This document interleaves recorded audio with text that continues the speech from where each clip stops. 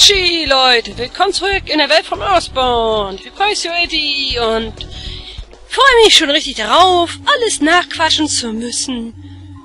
Ach ja, warum habe ich es eigentlich nicht vorher bemerkt, dass mein Headset langsam sich am Arsch geht? Gut. Ja. Äh, ich wusste gar nicht, dass Blau so gruselig sein könnte. Besonders, dass es nicht so richtig blau ist wohl. Es gibt so viele Blautöne, also ich will jetzt keine Diskussion führen. Jo, Heimweh! Ja. Heimweh. Der liebe Ness hat Heimweh. Hm.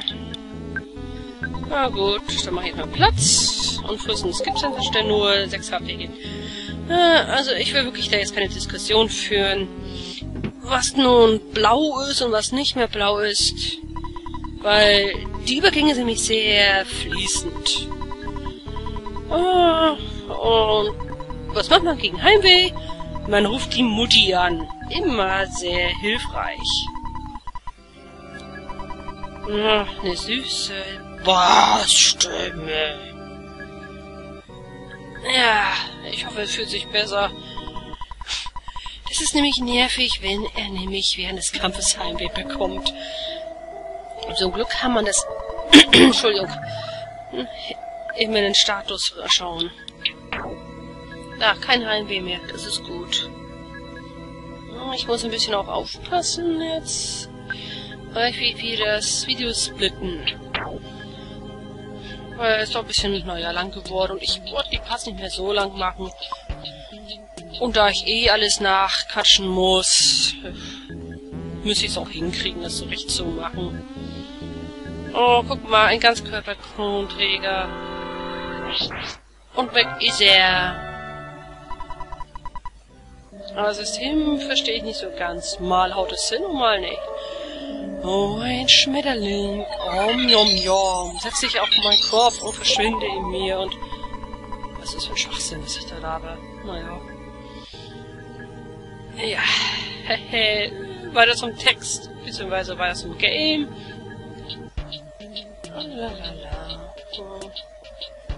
Das sind aber große Eier.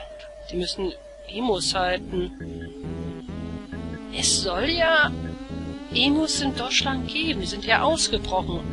Wo war das nochmal? Ach nee, die bläst ich mich schon wieder.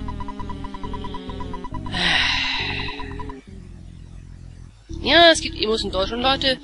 Wenn ihr solche Emos trifft, ich meine die Vögel, nicht die, die, oh, die Welt ist scheiße Gedöns. Und ich sage dann nein, weil ich sehe nicht ein, warum ich da irgendwie auf eine aufregende Zicke Geld geben soll. Und jetzt dachte sie tatsächlich mir hinterher. Und bleibt tatsächlich im Busch stecken. Tja, Mädels, nicht so einen fluffigen Rock tragen sollen. Mensch. Ja, jetzt ärgere ich sie einfach. Ja, was sollte man machen, wenn man tatsächlich so den Emo-Vogel äh, über den Weg läuft? Ähm, geht lieber den aus dem Weg, weil diese Vögel sind nämlich äußerst aggressiv. Die sollen auch in der Lage sein, ein Becken zu brechen, also den Knochenbecken und ja, da bin ich vor Scheck rausgegangen. So viele Ganzkörperkondome. Äh, ja. Und erstmal herausfinden, wo man lang gehen soll. Blau, blau, ist der Enzian. Stör uns nicht. Wir sind mitten, mitten im Gebet. Okay, ich bewege mich, ja. Ich bewege mich aus dem Weg. Ja, geh jetzt schnell. Bleib doch jetzt da stehen, wo er jetzt hingegangen ist. Irgendwie sehen die aus, als ob sie Pilze geraucht haben. Blaue Pilze. Blau, blau uns zurückgehen, bla bla bla. Und da kriege ich eine Antwort. Der hat zu viel geraucht von ganzen Scheiß. Oder die haben einfach blaue Farbe geschnüffelt. Könnte auch sein. Lagunblau, Lagunblau. Ja. Wieso Lagunblau? Die Farbe draußen übrigens, ja, ich habe manche mehrmals angequatscht, ist so eine Angewohnheit von mir. Störst nicht bei uns ein Treffen. Ich werde dich eins aufs Maul. Ich werde dir eins aufs Maul hauen! Äh, ja. mit Pinsel. Aber das Lagunblau, die Hauswände da, die Hauswände könnten, das könnte wirklich Lagunblau sein. Das hat ja so einen grünlichen Stich. Ja, eher Stichschimmer nennt es wie es wollt. Was sticht, da denkt man irgendwie, au, das tut aber den Augen weh. Antwort. Keine Antwort. Keine Antwort. Ja, ich habe da mehrmals gefragt, weil ich dachte, ey, muss ich die vielleicht mehrmals anquatschen, damit sie mich mal da durchlassen? Nö. Da redet wieder was von toll Lagunblau. Oh, das Blau würde ich mehr hm, Smoky Blue bezeichnen, ja. Ich glaube, ich habe es schon in einer anderen Folge erwähnt. Das ist eine Farbe, also Rauchblau. Ach nee, das war ja mit Mintgrün. Da ging von der Hauswand aus, also die Häuser, das sieht nämlich wirklich nach Mintgrün aus.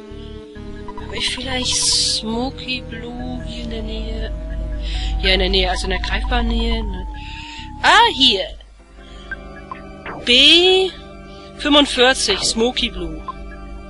Ja, Layoutstifte sind nummeriert und buchstabiert. Uh, sollen wir uns anschließen? Na, gib ab. Was du vorhast. Und treffe den großartigen Mr. Capane, der so schnell nicht möglich ist.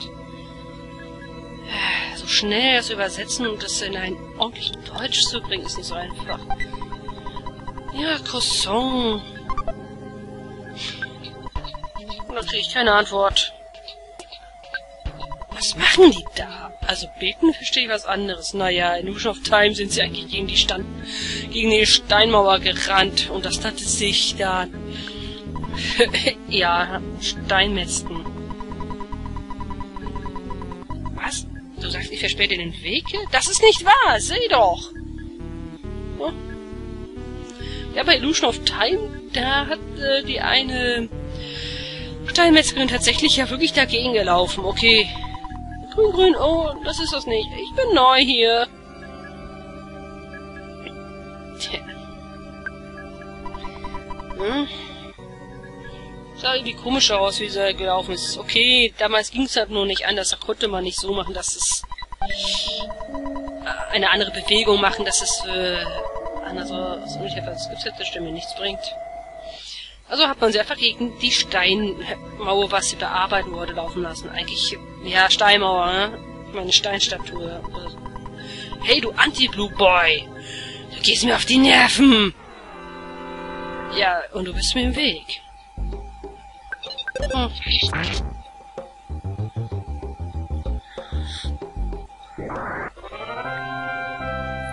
Jupp. Ganz aufs Maul. Herrlich, oder? Dum, dum, die, dum, dum, dum, die, dum, dum, dum. Da krieg ich keine Antwort. Mal, das ist nicht mal ein Labyrinth. Also, ich muss sagen, das ist irgendwie keine schlechte Idee, dass man immer durch die Leute durch muss. Also, ein Labyrinth aus Leuten. Weil man den Ausweg finden muss, indem man einige Leute verkloppt. Ja, ja, keine Antwort. Ist auch eine Antwort, nämlich, dass du nicht ansprechbar bist. Ah, wisst ihr, woran mich jetzt die Köpfe so erinnern? An Slimies. Also bei Dragon Quest. Da gibt's auch dieser komische Monster, so dieser Slimy oder Slimer. Ich weiß nicht genau, wie es heißt.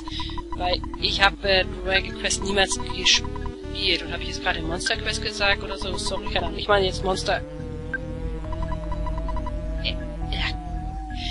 Ich meine Dragon Quest mit dem Toriyama-Stil. Also Toriyama-Charakterstil. Blibli. Ich vers ah, versuche zu lernen, wie man flüstert. Okay. Ja, die sehen doch wirklich aus wie diese Schleimmonster. Die Köpfe, findet ihr nicht? Hätten sie noch das, die, Grinsen noch, dann wär's doch... Du fremder, unmaskierter Kerl. Du kommst nicht in den Himmel! Ach, da zieht es auch.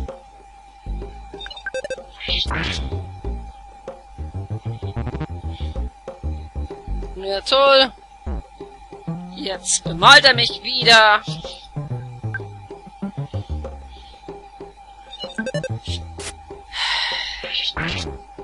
Ich kenne zwar den Spruch angeschmiert, aber angepinselt ist mir neu.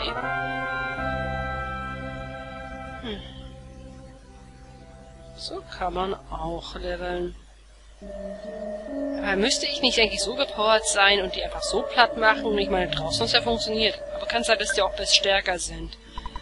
Blau, blau. Das Aufwachen. Ah! Was hat der für ein Problem? Dude, wenn du auf die Toilette willst, links an der Treppe vorbei, da ist die Toilette. Das sage ich wohl gar nicht jemals, die drinnen war. Das ist das erste Mal, dass ich hier drinnen bin. Gibt es denn eigentlich in Earthbound Toiletten? Bei Earthbound 3 gibt es Toiletten. Dein Outfit. Die Farbe ist verflucht. So ungefähr. Äh, was wollte ich erzählen? Habe ich was vergessen? Na, gucken wir mal an, was die, die schon seit Stunden ihre Runden drehen.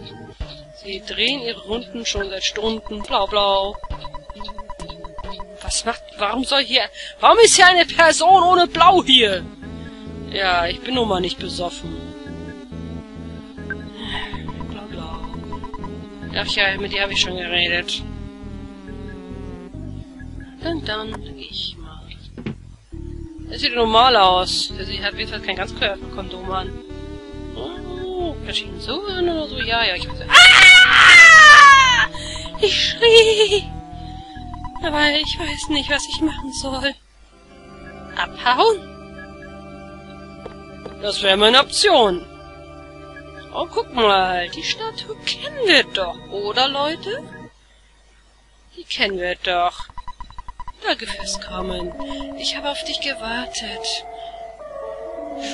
Jetzt wird's interessant. Ich brauche deine Hilfe, um die Welt blau zu machen. Sie zu besoffen zu machen. Und eine glückliche, so friedvolle Welt zu erschaffen, wenn alle besoffen durch die Gegend laufen. Willst du meine rechte Hand werden? Nö. Wenn du nicht, die Rech wenn du nicht meine rechte Hand sein willst, dann wird doch meine linke. Hehehe. naja. Das war nur ein Witz. Der Nächste ist ein Problem für mich und meine Rebellion. Ja. Wow, was für ein Effekt. Ein Blitz wurde von den Franklin Badge zurückgestellt. Und er greift und er hält tatsächlich ein Pinsel in der Hand. Ein Pinsel! Er mit der, mit der linken Hand auf sein? Aber guck mal, ich halte einen Pinsel in der Hand. Ich bin geil. Und ja, die Franklin Badge sind cool. Wow, das Ding ist auf ihn zurückgekehrt. Wie ein Bumerang. Voll in your face, bitch. Kann man das eigentlich so sagen, Bitch? Ach. Ist ja eher geschlechtslos, also geschlechtswertefrei. Kriegst eine Eidechse in deine Fresse, Alter. Hier, hoppi, hopp. Ja, ich weiß. Eigentlich heißt das Rocking, aber mir fiel das nicht mehr ein. Welches ja, was du am liebsten magst, da fiel mir halt Eidechsen ein. Die sind süß. Ja. Siehst du, die, meine, meine Statue hinter mir, sie ist auch nicht zu übersehen. Seit ich diese Statue habe, tue ich merkwürdige Dinge. Und ich weiß nicht, ob ich richtig übersetzen kann, weil Englisch ist nicht meine Muttersprache. Also verzeiht mir, wenn ich einen Schwachsinn nenne. Bitte vergib mir, wenn, du, wenn ihr könnt. Ich will ein normales Leben haben. Das klang merkwürdig. Ich werde alles wieder gut machen. Hier ist der Schlüssel äh, für das Gefängnis in einer Berghütte, wo Paula festgehalten wird. Nimm den Schlüssel und geh. Dein Rucksack ist voll. Du sollst irgendwas weg, was du nicht mehr brauchst, wegschmeißen. Ja, ich werde den Croissant nicht aufsammeln. Nom, nom, nom. Jo, lecker. Ja, ja, sprich ihn nochmal, weil ich dachte, er fällt mir was Neues hin, aber tut er nicht.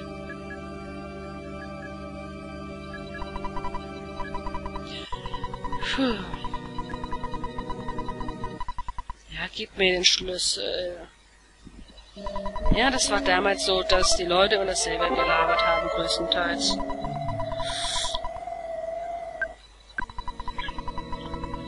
Ja, ich habe wieder nochmal angequatscht, weil jetzt erzählt was Neues. Nö. Aber ich muss sagen, die Statue sieht hässlich aus. Oh, Junge, du hast... Du bist... Du gingst zu Mr. Carpenter und... Du bist einmalig! Klasse! Geil! Oh. Jupp. Äh, ich habe meine Übersetzungskünsten. Warum lache ich? Es ist so peinlich. I try my best, guys. Really. Guck mal, es sind nicht mehr so viele Ganzkörperkondome. Hallo. Sieht so aus, als wären fast alle wieder aufgewacht und weggegangen.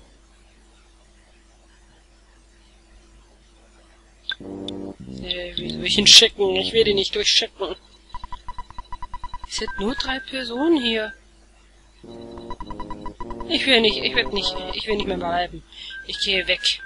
Gute Idee. Ja, sonst gibt's Sandwich. Sorry für alles. Lass uns Freunde sein. Okay, aber bitte zieh den Ganzkörperkondom aus. Wenn ich mit dir so ins Kino gehe, dann denken die Leute, du hast da ein merkwürdig...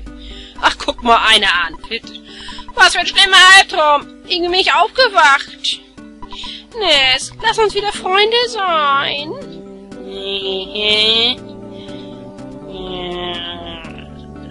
I don't think so. Bitte antworte mir. Ich verspreche dir gut zu sein. Okay. Nö, ich trau dir nicht, Alter. Dude, ich vertrau dir nicht. Ha! Ich hab gelogen, sie und... Bis dann, Lutscher. Lutscher. Ich wollte noch dein Fotovorsitz, aber ich ließ das. Weil so niveaulos muss ich nicht werden. Mr. Carpenter war wirklich merkwürdig. Aber das waren alle hier. Und damit wieder die schöne, beruhigende Mucke. Oh, äh, nein, hau ab! Endlich, jetzt habe ich eine Chance, es wieder gut zu machen. Ja. Okay. Ist aber auch nur dasselbe. Ich wache auf aus dem Traum. Ich bin aus dem Traum aufgewacht und ich habe doch eine scheiß Satzbildung. Ach, jetzt erzählt sie uns was über unseren Heiligtum. Also, ein Hinweis, wo das sein könnte. Äh, was soll ich noch sagen? Ach ja, ich weiß auch, warum ich jetzt dazu neige, immer so zu überleveln. Einfach aus dem Grund. In frühen Spielen war das mit der Fall, dass ich immer wieder, immer eins aufs Maul gekriegt. Immer und immer wieder, Leute. Und das hat echt so mich gefrustet. Darum, darum habe ich irgendwann eigentlich mal dazu so hochzuleveln, weil ich will schließlich auch mal Spaß haben und nicht jedes Mal zigtausendmal zum Boss hinzulaufen, um mir eins aufs Maul zu kriegen und dann wieder von vorn zu starten und irgendwann zu schaffen, weil ich gerade mal jetzt eigentlich das Level erreicht habe, was erforderlich war, um den eins, ihnen eins auf Deckel zu geben, auch wenn er keinen Deckel trägt und Ach, okay, jetzt euch kann ich nicht mitmachen. Wie schlimm ist das? Nicht so schlimm. Ich meine, ich habe genug Sachen. Und so... Sechs, ja... Mehr, so... Sieben, sechs... Nee, sechs, sieben... Oh, das war's dann. HPs gehen die eh nicht, also ist es kein großer Verlust. Ja, er hat ein Geschenk hinterlassen. Und ein Geschenk war ein. Was für eine Überraschung. Surprise, surprise. Immer diese dumme Frage. Nein, ich will kein Käse. So faul bin ich auch nicht. Komisch, dass das Haus nicht blau gefärbt wurde. Ich glaube, sie wollen Paula nicht so dermaßen fertig machen. Haben so ein bisschen auf sich auf sie genommen. Und da benutzen wir mal den Schlüssel. Juhu! Komm raus, meine Süße! Ein komisches... Danke, Ness! Ja, äh, so gut, Süße. Du siehst genauso aus, wie ich mir vorgestellt habe. Oho. Ich, ich glaube, nee, ich bin mir sicher, dass viele Leute im Sussen Sorge um mich machen. Nee, zurückgehen wäre vielleicht gefährlich. Ja, aber wir müssen zurück. Ich glaube, dein Vater dreht total auf den Teller. Aber wenn wir unsere Kräfte vereinen, dann könnten wir es schaffen. Und ich kann auch äh, psychisch, und ich habe auch so ein bisschen psychisch die ziemlich tödlich sind. Ja, so tödlich eigentlich auch wenig, aber sie lernst. Lass uns nach Tucson zurückkehren. Ja, dann nimmst du den Teddybär, der wirklich sehr nützlich ist. Ja, Paula hat sich uns angeschlossen. Juhu. Ich mag die Kleine. Sie ist wirklich nützlich. Ah, ja, mhm. ja 30 HP und 10 PP. Status. Nest Level 24 und Level 1. Das ist auch kein großer Unterschied. Sind nur 23, nee, ja, 3, nee, 23 Level dazwischen. Wieso ich manchmal Probleme mit Zahn habe, ich weiß nicht. Ja, da muss man doch Angst haben. Recorder, oh, Freeze. Juhu. Ja. Finde ich aber interessant, dass sie die Attacke Freeze hat und nicht irgendwie was so typisch mädchenhaft ist. Naja, das war's dann, Leute, von mir. Wir sehen uns in der nächsten Folge. See ya!